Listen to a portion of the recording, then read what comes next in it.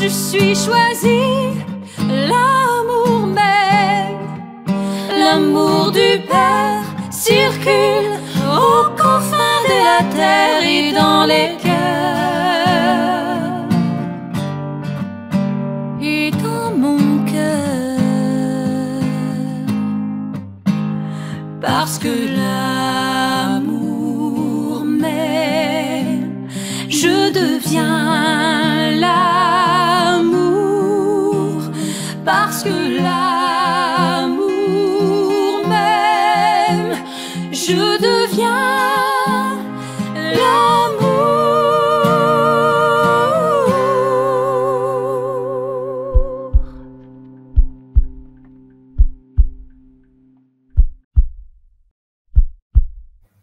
Bonjour, chers choisis de Jésus. Je suis encore une fois très heureux de vous retrouver. Pour ce Facebook Live d'aujourd'hui, je me base sur le message 35 du volume 3, dont est issue la pensée de ce jour. Alors, le message 35 du volume 3, si vous avez le livre à côté de vous, n'hésitez pas, prenez-le. Nous allons le, lire d'abord, et puis, euh, comme à mon habitude, je vais le commenter en lui à partir des principaux messages dont ce message euh, euh, parle. Alors, euh, je vous propose donc de passer à la lecture de ce message 35 du troisième volume de Pour le bonheur des miens, mais choisis Jésus. Mon tout petit, ma toute petite. Toi qui es sur le chemin de la plénitude de l'amour, tu dois, chaque jour, pénétrer plus profondément à l'intérieur de toi, afin d'y découvrir les trésors que le Père a enfouis au moment de ta création. Ces trésors sont principalement ceux d'une foi sans limite envers le Père du ciel, d'une confiance absolue en lui, peu importe ce que tu as à vivre au quotidien, d'une espérance aux proportions qui dépassent tout ce qu'un être humain peut concevoir, d'un amour toujours croissant et se renouvelant continuellement par l'ouverture de ton cœur pour accueillir l'amour que le Père y déverse à chaque instant. Ainsi, il vient refaire toutes les fibres de ton être pour te régénérer et te faire grandir. C'est ce qui te permet de t'accueillir toujours davantage, tel que tu es, d'aimer de plus en plus ton Dieu, d'aimer et d'accueillir de plus en plus les personnes que le Père met sur ta route et d'être capable d'accueillir sans protestation, sans plainte ou complainte, les événements malheureux qui se présentent à toi, les critiques ou les persécutions. Découvrir les trésors que le Père a enfouis en toi, c'est découvrir une nouvelle vie, une nouvelle joie de vivre, une nouvelle paix et un nouveau bonheur personne sur cette terre, ni aucun événement ne peut te ravir. Heureux es-tu d'être sur cette voie qui te conduit à la plénitude de l'amour. Divinement, je t'aime. Alors donc, en méditant sur ce texte, sur ce message 35 du troisième volume, le titre suivant m'a paru de circonstance. Quelle est cette voie qui nous conduit à la plénitude de l'amour? Quelle est cette voie qui nous conduit à la plénitude de l'amour? Que répondriez-vous à cette question? Eh bien, nous allons essayer de, de trouver ensemble quelques éléments de réponse, si vous voulez bien. Avant de répondre à cette question, il m'apparaît important de répondre à une question préalable. suis-je sur ce chemin qui conduit à la plénitude de l'amour? Ah, Donc, avant de, de répondre à la question, quelle est cette voie, ce chemin qui nous conduit à la plénitude de l'amour, déjà, est-ce que je suis sur cette voie? Est-ce que je suis sur cette voie? Comment est-ce que je sais si je suis sur cette voie? Bonne question peut-être. Eh bien, euh, nous avons quelques réponses, enfin nous avons beaucoup de réponses dans les trois volumes. Euh, j'en ai pris deux euh, du troisième volume. la première réponse, je la trouve au message 23 du troisième volume. Plus tu es près de son cœur, le cœur du Père, plus tu peux entrer dans la plénitude de l'amour. Il te suffit d'être près du cœur du Père pour être sur cette voie, tout simplement. Au message 26 du volume 3, Jésus dit, en accueillant l'amour, tu deviens un être d'amour. En devenant un être d'amour, tu deviens un instrument utilisable entre les mains du Père. Là encore, le fait d'accueillir l'amour du Père suffit pour être sur cette voie, sur ce chemin qui conduit à la plénitude de l'amour. En somme, le seul fait de donner notre oui total, inconditionnel ou irrévocable au Père nous assure d'être sur ce chemin de la plénitude de l'amour. Je pourrais dire aussi cette petite prière, parce que l'amour même, je deviens l'amour, eh bien, m'inscrit sur ce chemin de la plénitude qui me conduit à la plénitude de l'amour. Je peux aussi dire celle-ci, oui Seigneur, je suis petit. Oui Seigneur, je sais que tu m'aimes. Oui Seigneur, j'accueille tes grâces. Je le répète, je le répète, de la sorte, je suis bien sur cette voie qui me conduit à la plénitude de, l'amour. Voilà. Donc, si vous en doutiez, maintenant, il n'y a plus aucun doute, vous êtes bien sur cette voie qui conduit à la plénitude de l'amour. Alors maintenant que nous savons que nous sommes sur cette, sur cette voie, sur ce chemin, eh bien, que devons-nous faire? La première question à se poser, que devons-nous faire? Eh bien, Jésus nous dit, euh, dans ce message, 35 hein, volume 3, euh, nous dit ceci. Tu dois chaque jour pénétrer plus profondément à l'intérieur de toi. Pas à l'extérieur, non, à l'intérieur de toi. Tu vis dans un monde, tu as des occupations, tu as des devoirs, très bien, mais cela ne t'empêche pas de vivre tout cela de l'intérieur de toi. Et pourquoi pénétrer plus profondément à l'intérieur de soi? Eh bien, il poursuit, il dit, pour y découvrir les trésors que le Père y a enfouis au moment de notre création. Eh bien, nous avons déjà tous les trésors dont nous avons besoin en nous. Pourquoi donc aller chercher ailleurs? Pourquoi aller euh, trouver ailleurs toutes sortes de recettes miracles? Nous les avons en nous, tout ça. Alors, en d'autres termes, Jésus nous invite à une chasse au trésor. Cette chasse au trésor, elle est centrale et au cœur même de la spiritualité des choisis de Jésus. De quel trésor s'agit-il? Eh bien, il y en a quatre que l'on trouve dans ce message. Le premier trésor, c'est une foi sans limite envers notre Père du ciel. Vous vous souvenez, Jésus a toujours euh, euh, nous a montré euh, à quel point nous pouvions avoir foi, une foi sans limite envers le Père, même dans les situations les plus difficiles. Le deuxième trésor, c'est une confiance absolue en lui, en le Père, peu importe ce que nous avons à vivre au quotidien.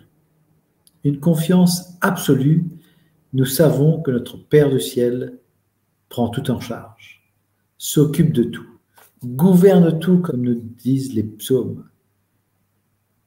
Il suffit juste qu'on soit unis à lui, qu'on s'unisse à sa volonté pour être ce qu'il veut que nous soyons aujourd'hui, maintenant, tout simplement.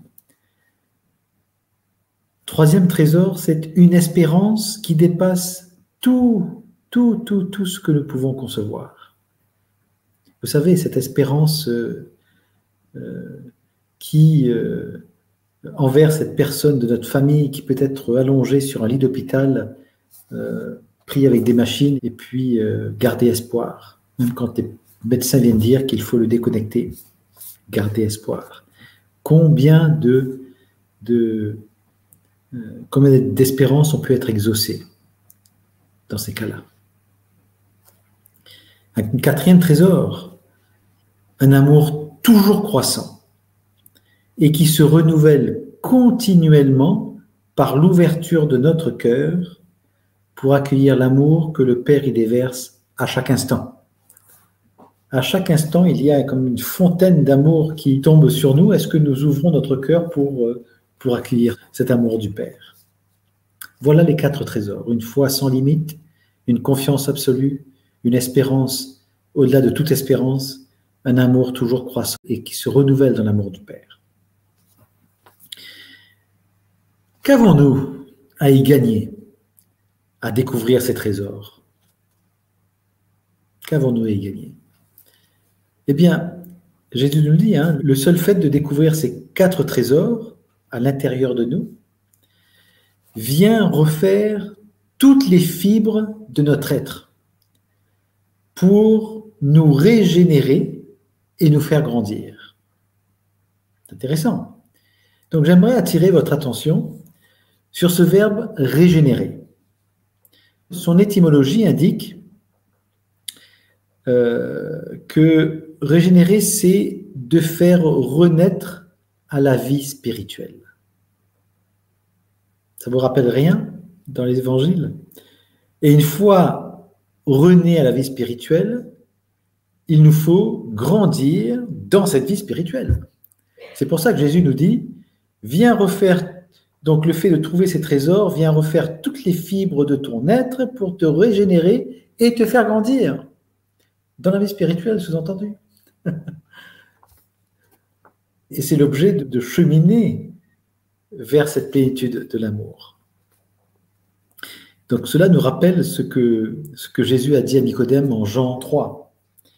Euh, personne, à moins de naître de l'eau et de l'esprit, ne peut entrer dans le royaume de Dieu. Personne. Hein? Quand il dit à Nicodème, euh, va falloir que tu renaisses, mon ami. Et Nicodème lui dit, mais comment est-ce que je peux renaître euh, Je suis déjà né? Eh bien oui, ben voilà, c'est cela. C'est de cela dont il s'agit. se laisser conduire vers la plénitude de l'amour, c'est c'est suivre Jésus comme les apôtres, comme tous les saints et les saintes de ces 2000 ans, martyrs aussi, qui l'ont suivi et qui se sont laissés régénérer et grandir dans la vie spirituelle. La voie, le chemin de la plénitude de l'amour nous conduit donc dans le royaume de Dieu. Suivre cette voie, c'est suivre Jésus, c'est-à-dire accepter de renoncer à ce que nous sommes présentement pour devenir ce pourquoi le Père nous a créés.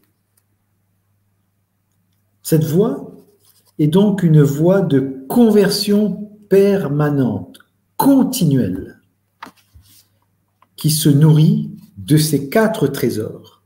Une foi sans limite, une confiance absolue, une espérance au-delà de toute espérance et un amour croissant sans cesse renouvelé dans l'amour du Père. Il suffit simplement d'accueillir son amour en ouvrant notre cœur. Plus notre cœur va s'ouvrir, plus il va recevoir d'amour et plus il va pouvoir s'ouvrir davantage, etc. Et cela se déroulera toute notre vie. Eh bien, imaginons que nous sommes déjà en train d'expérimenter cela. Quels sont les changements concret de la découverte progressive de ces quatre trésors dans notre vie? Quels sont ces changements concrets? Eh bien, ce message nous en révèle quatre. Premier changement concret, c'est de nous accueillir toujours davantage tels que nous sommes. Pas toujours évident. Hein. nous accueillir toujours davantage tels que nous sommes. Alors si nous ne nous aimons pas tels que nous sommes, eh bien progressivement, dans le temps, nous allons apprendre à nous aimer tels que nous sommes, tels que le Père nous a créés, puisque nous ne sommes pas une erreur de sa création. Notre regard simplement qui, devra sans doute être régénéré. Deuxième changement concret, aimer de plus en plus notre Dieu. Nous allons expérimenter un amour grandissant pour découvrir notre Dieu, pour mieux le connaître, pour mieux l'aimer, pour mieux le servir, pour le... Nous allons découvrir un amour peut-être pour la parole de Dieu. Nous allons... Euh, enfin voilà, il euh, faut se laisser, se laisser surprendre et surtout se laisser aimer. Troisième changement concret de notre vie, nous allons aimer et accueillir de plus en plus les personnes que le Père met sur notre route. Pas toujours facile. Pas toujours facile. Mais nous allons aimer et accueillir de plus en plus, c'est encore une fois progressif, c'est dans la durée. Euh, euh, nos épouses mettent neuf mois hein, euh, hein, pour accoucher d'un bébé. Ce même bébé va mettre six ans avant d'avoir d'avoir l'esprit de raison. Et puis ensuite, encore bien des années avant de pouvoir se prendre en charge. Vous voyez, donc ça se passe dans le temps. Quatrième changement concret, c'est d'être capable d'accueillir sans protestation, sans plainte ou complainte les événements malheureux qui se présentent à nous, mais aussi les critiques et les persécutions se présentent à nous. Être capable d'accueillir cela sans protester. Comme Jésus. Jésus, à aucun moment de sa vie, et en particulier à aucun moment dans sa passion, euh, n'a voulu protester envers le Père. Il a reconnu, il a demandé au Père si cette coupe pouvait passer loin de moi, mais non pas ma volonté, la tienne, Père. Toujours. Et donc, une fois que nous constatons ces changements concrets. Quels sont les fruits qui accompagnent ces changements en nous, autour de nous et à travers nous? Quels sont ces fruits? Il y en a trois, toujours, que l'on peut retirer de ce texte. Nous allons découvrir une nouvelle joie de vivre. Si nous manquons de joie de vivre, peut-être devrions-nous euh, cheminer sur cette voie qui nous conduit à la plénitude de l'amour et donc revenir pénétrer plus profondément à l'intérieur de nous? Peut-être nous sommes-nous laissés euh, accaparer par l'extérieur. Euh, donc peut-être c'est un appel. Je manque de joie de vivre, bien essayons de, revenir en soi, plus profondément encore. Donc découvrir, premier fruit, découvrir une nouvelle joie de vivre. Deuxième fruit, découvrir aussi une nouvelle paix intérieure vis-à-vis de tout ce qui se passe à l'extérieur de nous aussi. Troisième fruit, découvrir un nouveau bonheur que personne sur cette terre, nous dit Jésus, ni aucun événement ne pourront, ne peuvent nous ravir. Donc, découvrir cette nouvelle joie de vivre, cette nouvelle paix, ce nouveau bonheur, sur ce chemin qui nous conduit vers la plénitude de l'amour, nous garantit que rien ne peut nous les ravir. Extraordinaire. Alors, voulons-nous cheminer vers la plénitude de l'amour? Voulons-nous expérimenter dès ici-bas cette nouvelle joie de vivre, cette nouvelle paix et ce nouveau bonheur? Qu'attendons-nous? Si nous répondons oui à ces deux questions, il ne sert à rien d'aller chercher à l'extérieur de soi ces fruits, puisqu'ils sont les résultats de ces trésors qui sont en nous. Rappelons-nous Matthieu 5, 37. Que ton oui soit oui. Et je pourrais continuer et je, pourrais rajouter que ton oui soit oui à pénétrer plus profondément en toi chaque jour. Et puis que ton nom soit non. Que ton nom soit non à ces recettes illusoires qui sont à l'extérieur de nous et qui nous promettent monts et merveilles, mais peut-être pour un temps, mais qui ne durent pas. Voilà, chers choisis de Jésus, euh, le commentaire que je pouvais vous proposer pour aujourd'hui sur ce message 35 du volume numéro 3, dont le titre était Quelle est cette voie qui nous conduit vers la plénitude de l'amour?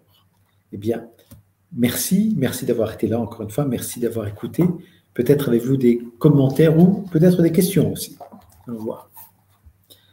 Fabiola nous dit Merci Guy.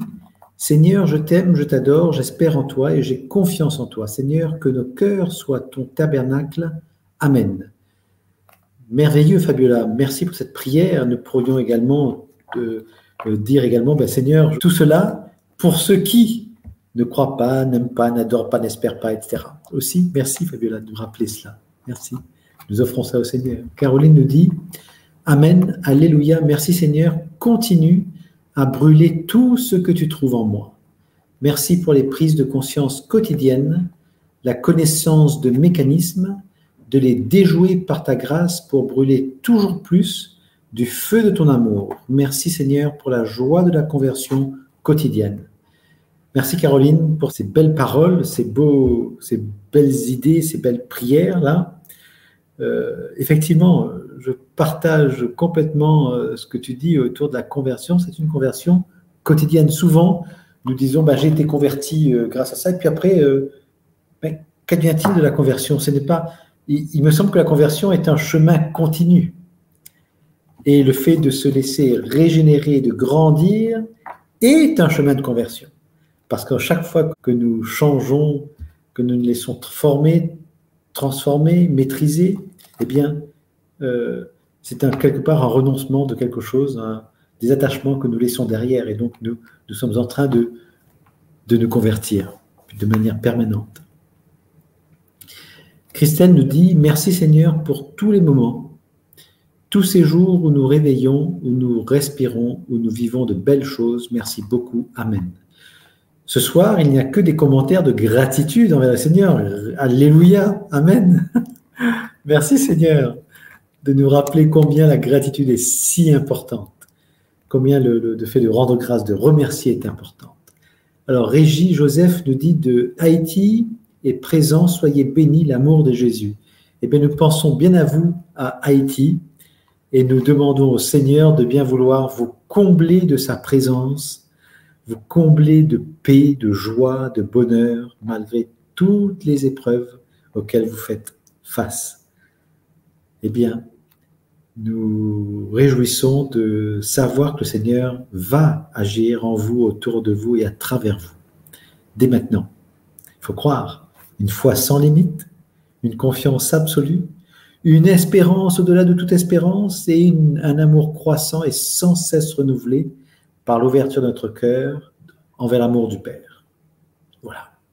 Merci, merci beaucoup, encore une fois. Je vous donne rendez-vous. Euh, la semaine prochaine. Euh, Max Payet nous dit Moi qui suis pauvre pécheur et ne, puis te recevoir sacramentellement suite à un divorce, merci Seigneur de continuer à faire vivre en moi ton amour.